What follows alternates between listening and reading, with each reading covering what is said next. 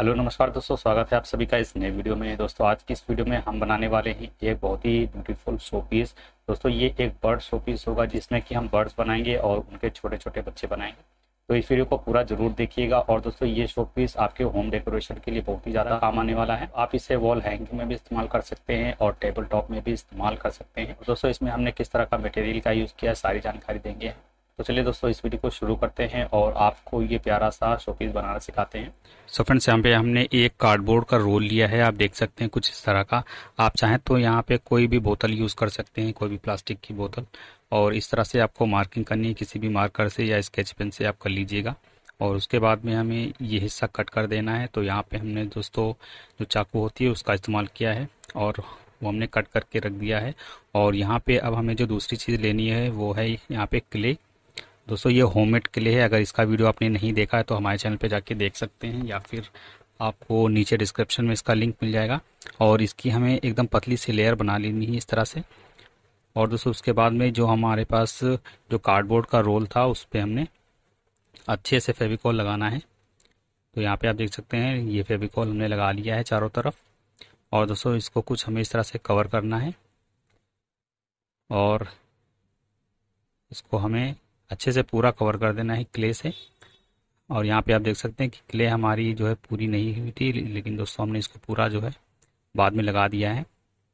और ऊपर इस तरह से ऊपर और नीचे के ये जो हिस्से हैं, इन्हें भी आपको जो है इस तरह से बंद कर देना है। और जो बीच वाला जो हिस्सा हमने कट किया था, उसको भी हमें अच्छे से बना देना है इस तरह से। और इसकी ओर अंदर की ओर थोड़ा सा ग्लू लगा के इसको चिपका देना है और दोस्तों इसको थोड़ा सा और चिकना कर लेना है। तो यहाँ पे दोस्तों हमने जो है, यहाँ पे पानी का इस्तेमाल किया है। इसमें थोड़ा सा आप पानी लगा देंगे तो ये चिकना हो जाएगा और उसके बाद में दोस्तों किसी भी चीज़ से आप इस तरह से इस पर निशान डाल दीजिएगा जिससे कि जो वुडन इफ़ेक्ट होता है वो आ जाएगा। तो यहाँ पे दोस्तों, यहाँ पे जो लकड़ी का जो टेक्सचर होता है वो बना रहे हैं कुछ इस तरह से, आप देख सकते हैं। और आपको ऐसे ही बना लेना है। ये दोस्तों लकड़ी का जो टेक्सचर होता है वो हमने बना लिया है, आप देख सकते हैं। और इसको अब यहाँ पे हम कलर कर देंगे। दोस्तों, ये ब्लैक एक्राइलिक कलर है। आप चाहें तो यहाँ पे वाटर कलर भी कर सकते हैं, लेकिन दोस्तों वाटर कलर से उतनी शाइनिंग नहीं आती है। तो दोस्तों, आप लोग एक्राइलिक कलर ही यूज़ किया कीजिए। और दोस्तों, उसके बाद में यहाँ पे हमने ब्राउन कलर इस्तेमाल किया है डार्क ब्राउन कलर है। और इसको दोस्तों उंगली से ही हमें बिल्कुल थोड़ा थोड़ा सा हाईलाइट के लिए लगा देना है चारों तरफ़ और उसके बाद में दोस्तों यहाँ पे गोल्डन कलर ये भी एक्राइलिक जो स्पार्कल कलर होता है एक्राइलिक में वो है। तो आपको भी इस तरह से लगा देना है। तो देख सकते हैं ये हमारा जो बेस है वो तैयार हो चुका है। और अब दोस्तों हमें और क्ले लेकर और इस तरह से गोल करते हुए दोस्तों हमें चिड़िया बनानी है बर्ड्स तो दोस्तों ये बर्ड्स कुछ इस तरह की हम बना रहे हैं आप देख सकते हैं। ये इसकी पूँछ है और ये इसकी हम इस तरह से आगे जो चोंच होती है वो निकालेंगे और पूँछ बनाएँगे सबसे पहले इस तरह से। और इसको रख के और उस, उसके बाद में यहाँ पे हम पंख बनाएँगे इसके जो पर होते हैं विंग्स और इसको हम थोड़ा सा ग्लू लगा के चिपका देंगे जिससे कि ये बार बार छूटे ना। और ये आपको दोनों तरफ़ चिपका के और इसमें जो विंग्स का जो टेक्सचर होता है वो हम डालेंगे इस तरह से। आप किसी भी चीज़ से ये चीज़ कर सकते हैं। ये दोस्तों देखने में अच्छा लगता है, आपकी जो बर्ड्स होती हैं वो थोड़ी सी रियलिस्टिक दिखने लगती हैं। तो दोस्तों आप देख सकते हैं, कुछ इस तरह से हमने इसके पंख जो है बना दिए हैं। और यहाँ पे दोस्तों आँखों के लिए हमने यहाँ पे थोड़ा सा दबा दिया है, आँखों की जगह बना दी है। और इसमें हम बाद में जो ब्लैक क्ले होती है, उसमें लगा देंगे। और इसी तरह से आपको दोस्तों पूँछ में भी करना है। आपको थोड़ा सा जो है इस तरह से लाइनिंग बना देनी है और यहाँ पे हमने एक बड़ी चिड़िया बना ली है और एक छोटी। और दोस्तों, अब यहाँ पे हम इनके जो बच्चे होते हैं बेबीज़ वो बनाएँगे। तो बस ऐसे ही दोस्तों, इसको गोल करते हुए कुछ इस तरह से आपको उनकी चोंच बना देनी और बस आपकी जो बर्ड्स के बच्चे हैं बेबीज़ वो बन जाएँगे। और इसके बाद में दोस्तों, यहाँ पे ब्राउन कलर से हम जो बर्ड्स हैं, उनके विंग्स को कलर करेंगे। ये भी दोस्तों एक कलर ही है। और कुछ इस तरह से आपको दोनों विंग्स पे लगाना है। और दोस्तों, उसके बाद में आपको सिर से होते हुए पीछे पूंछ तक इस तरह से ले जाना है। और ये कलर ऊपर का थोड़ा सा डार्क ही होना चाहिए और साइडों में आप थोड़ा सा हल्का रखेंगे। और इसी तरह से हम सारी जो बर्ड्स बनाई हैं हमने बर्ड्स और बेबीज़ उनको भी कलर कर लेंगे, आप देख सकते हैं। कुछ इस तरह से हमने कलर किया हुआ है। वीडियो थोड़ा दोस्तों फास्ट है क्योंकि दोस्तों कुछ लोग बोलते हैं कि वीडियो बहुत लंबे हो जाते हैं तो आप लोग थोड़ा फास्ट जो है अपनाए कीजिए। और उसके बाद में दोस्तों यहाँ पे हमने ब्लैक जो कलर है, थोड़ा सा हाईलाइट के लिए यूज़ किया है। जो रेडियल कलर होता है वो हम बना रहे हैं यहाँ पे, लाइनर, कुछ इस तरह से। और आपको ये ब्लैक कलर ज़्यादा नहीं लगाना है, बस थोड़ा थोड़ा सा सिर्फ़ हाईलाइट के लिए आपको लगाना है। यहाँ पे आप देख सकते हैं हमने सिर पे लगाया है और पंख पे लगाया है। और इसकी जो चोंच है वो भी हम यहाँ पे ब्लैक ही रख रहे हैं।